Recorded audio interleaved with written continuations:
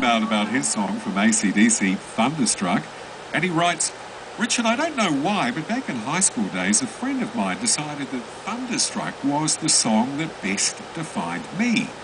Ever since then, it's been my song, and whenever I hear it, it makes me happy. It's a macho thing, I think, Mitch. Here you go, the song that takes you to your happy space.